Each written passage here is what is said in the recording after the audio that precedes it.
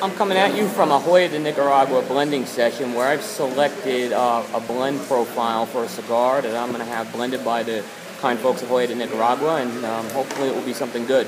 Let's just kind of review some of the tobaccos I've selected for this blend.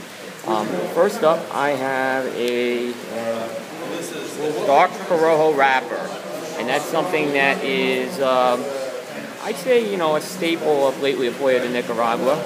And what I'll do is I'll just kind of light it up to see uh, what kind of um, aroma we get. More fire on that. Kind of a sweet, a sweet spice to it. Smells really nice. So we went with a sweet spice as far as that goes. Next up, I've selected a Ecuadorian Connecticut binder, which uh, was one of two binders we had selected, and um, I like the creaminess to this.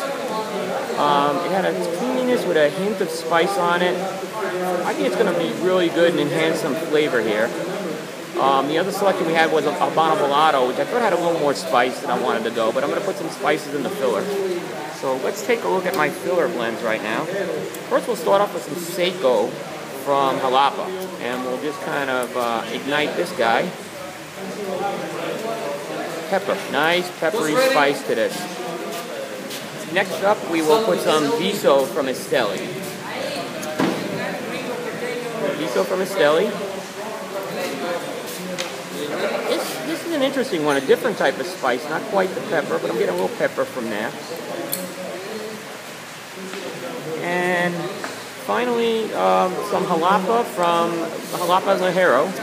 So this is going to give it a little bit of firepower. Put a little more on that.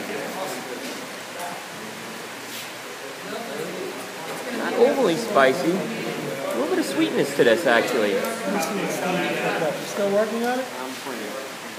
A little bit of sweetness to that. And Jose Blanco's coming over to inspect uh, as we speak. I'm expecting uh, to see what our friend Will Cooper's doing. You're gonna work with two ligeros? Two ligeros. So you're gonna make a bomb. I'm gonna make a bomb. I put up So that's that's from Jose himself. And finally, the last ligero is uh, an, some ligero from Esteli. And uh, we will ignite that guy. And this one's having a little trouble igniting. We have some wet conditions here.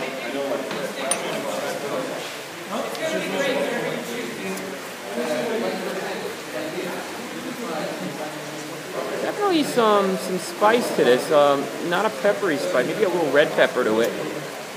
Maybe some red pepper, but definitely not a black pepper that I got earlier on with the other leaves.